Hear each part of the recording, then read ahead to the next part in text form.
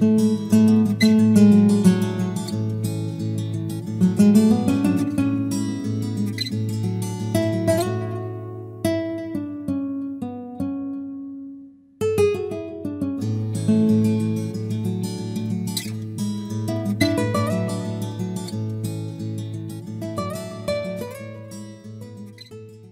amigos, hoy les voy a contar uno de los paseos maravillosos que hicimos en Indonesia.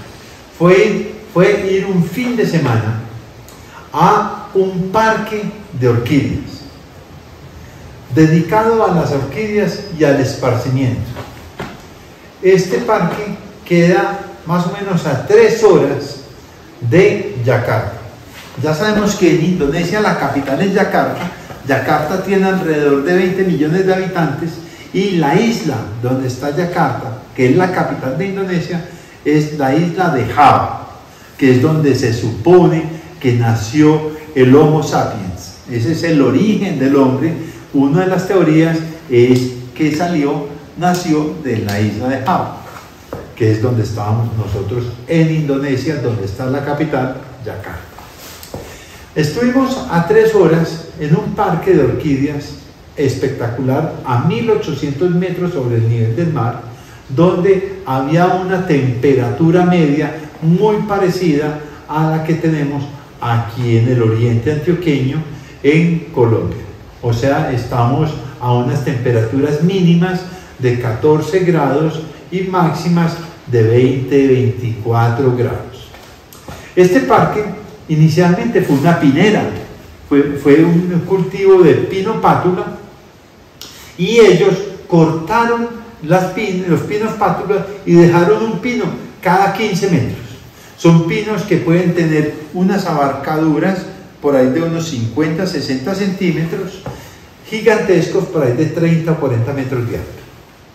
Y esto de sembrar un manga por debajo es un parque que puede medir alrededor de unas 20 hectáreas, donde eh, la idea del parque es, primero, como todo eh, persona eh, que, oriental, asiática, la estética y el orden son fundamentales. Donde vemos que hay senderos, todos los senderos en adoquín, donde hacen unos arcos o entradas a ciertos nichos o lugares bonitos, muy, llenos de sembrados con muchos sarros, el hecho sarro o el hecho arbóreo, y toda la entrada como en una especie de dos palos y uno encima atravesado, lleno de orquídeas de todo tipo a todo alrededor del árbol, de los palos de las entradas a esos nichos, donde había sembradas eh, principalmente Bulbophyllum, que Bulbophyllum, yo diría que Bulbophyllum puede ser las plantas más comunes o más normales que se encuentran en ese lugar. Bulbophyllum eh, es como en Colombia hablar de pleurotalis o como hablar de stelis, que son plantas muy comunes acá en Colombia. Otras plantas que también se encontraban en mucha, con mucha abundancia eran Dendroquilum y Dendrobium. Esos eran los tres géneros más importantes o más comunes que uno veía en Indonesia, en ese jardín o en ese parque de orquídeas. Como les dije, hay mucha manga, mucho prado, y había, por ejemplo, un auditorio, era simplemente al aire libre, debajo de pinos, con unos troncos de, tipo rastras de 3 metros de largo por 20 por 20 para sentarse en forma de auditorio y el auditorio estaba al fondo con unas plantas muy sencillas. Lo mismo los lugares para ir a comer estaban con unas estructuras transparentes muy naturales para que tú te sintieras como comiendo al aire libre. Otra de las atracciones era la casa de las orquídeas. La Casa de las Orquídeas era un recinto cerrado, eh, con, yo diría que como con, una, con unas tejas transparentes, donde había un sendero dentro de ese recinto cerrado, donde mostraban Phalaenopsis y habían unas pequeñas casitas por ahí cinco o seis casitas donde mostraban cinco o seis géneros específicos y mostraban la especie que, de, que estaban hablando donde hacían la descripción de la especie. De plantas icónicas o plantas que eran referentes en Indonesia. Una de las cosas que más me maravilló de Indonesia o de ese parque es que eh, había unas estructuras de bambú por unos senderos que uno caminaba como debajo de esas estructuras de bambú y estaban colgadas en diferentes alturas unas coquedamas. Coquedamas son, es, eh, el nombre coquedama es como bolas de musgo, bolas verdes de musgo colocadas en diferentes alturas y uno caminaba a través de esas bolas de musgo. Una sensación preciosa, espectacular.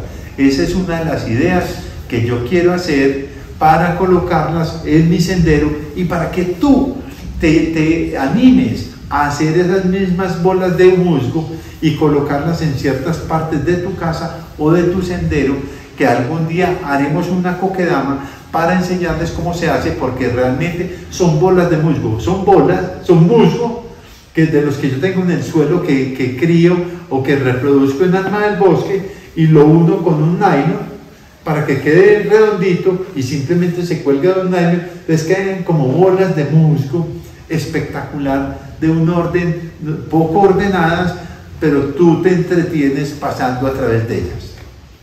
También había un lugar de venta donde vendían plantas de orquídeas, principalmente dendrobium y fanelopsis. Y obviamente con comida, cómo se alimentan, etcétera, para que el, el, el, visitante logre comprar una de esas plantas para su casa. ¿Qué más vi en ese recorrido?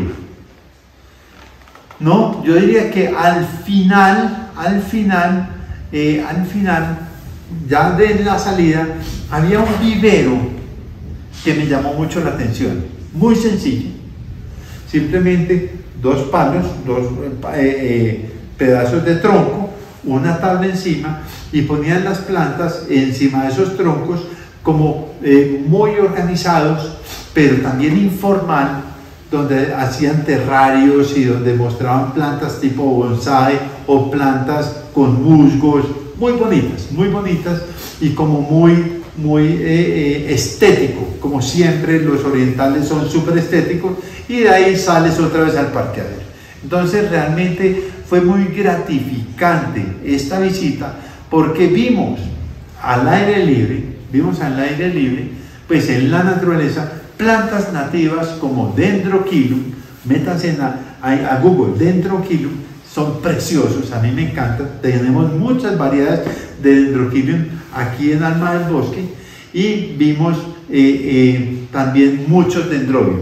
Entonces, realmente fue una visita que valió la pena. Amigo, si te gustó este video, compártelo.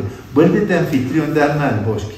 Y eh, ayúdanos a difundir esta pasión que tenemos por las orquídeas, porque nuestra única forma de pensar es aumentar la pasión de las orquídeas en el mundo. Que estés súper bien.